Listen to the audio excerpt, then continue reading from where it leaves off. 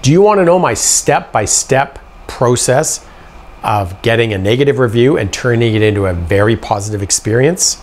Today, that's what we're talking about. Hi, my name is Mark Bentz, and I'm the owner of one of the largest multidisciplinary clinics in Canada. I started the Virtual CEO because I wanted to take clinic owners from overworked, underpaid, to living life on your terms and a clinic that is extremely profitable.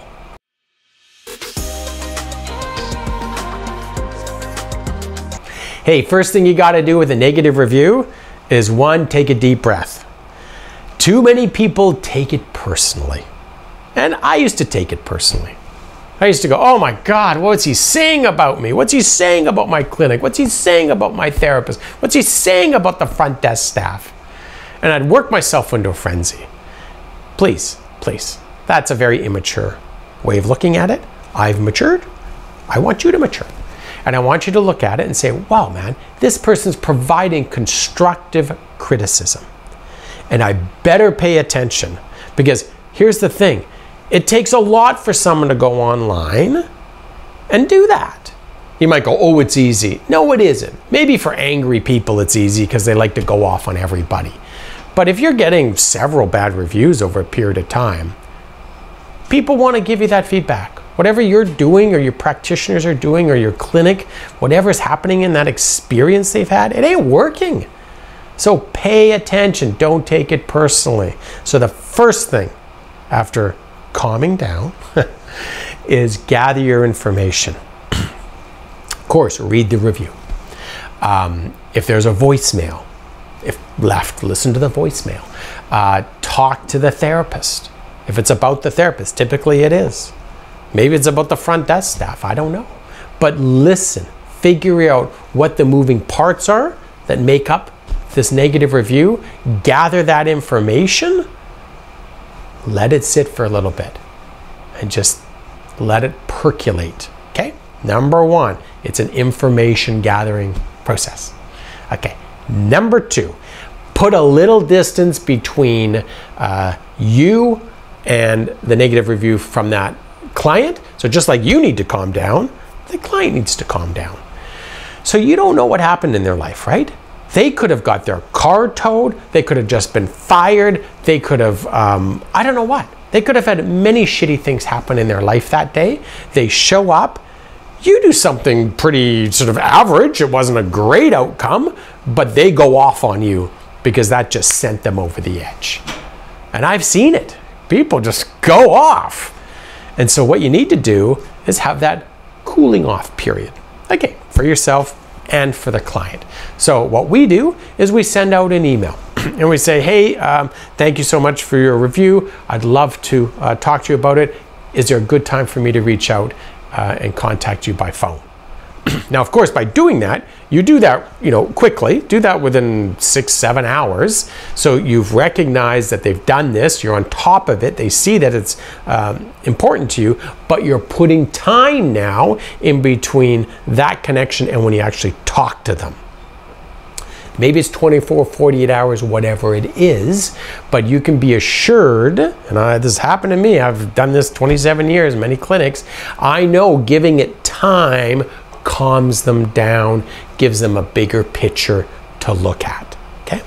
So, number two, put some distance uh, at the beginning uh, from the review to when you will personally talk to them. Number three, when you talk to them, and you need to talk to them. So if it isn't you and you've got a huge clinic um, and you have someone that can do that, so that's what we have here. I have someone that deals with all these, uh, we call them patient opportunities. Uh, and she reaches out and she talks to them. Listen, listen, listen. Don't be defensive. Don't come up with fucking excuses. Even though they might be justified. You might think, oh no, that's why. Don't come up with them.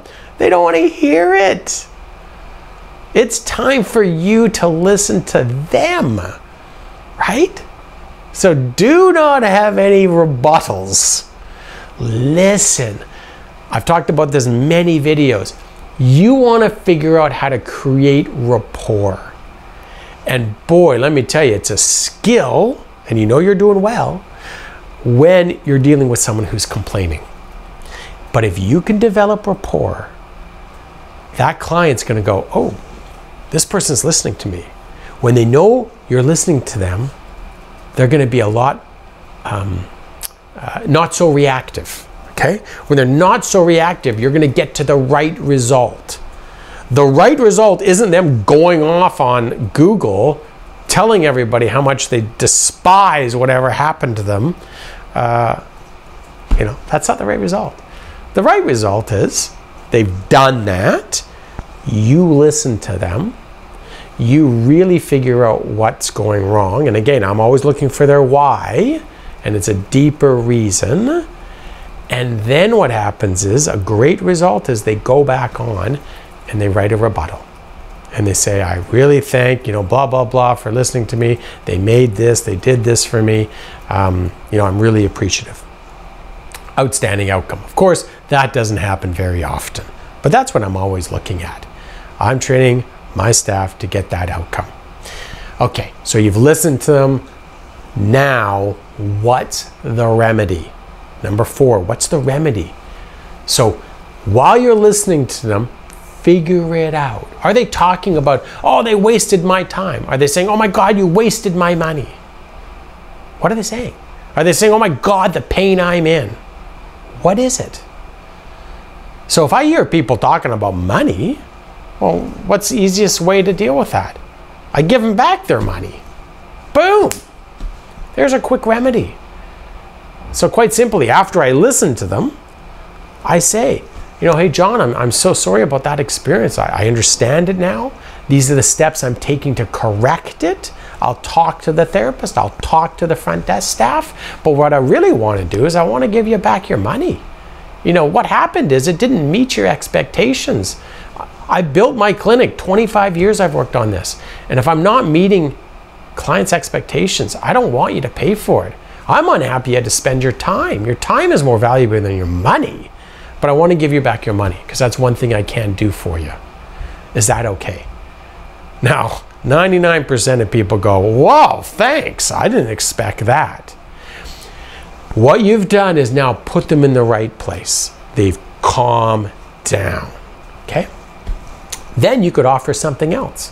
So sometimes I offer another treatment and it's complimentary. Hey, John, you know, I want you to come in for a complimentary treatment. Maybe see another therapist. Maybe see another discipline, right? Because maybe that wasn't the right uh, discipline for them. I don't know. But it comes from listening, right? It comes from step three. Really figure it out. And step four is the real power, right? Step four is where you, you turn a, a person that's against you, you know, hates your therapist, hates whatever happened, you know, has a real strong, maybe it's not hate, has a strong aversion to what happened to them. That's why they went online. And now you're going to turn them into a raving fan.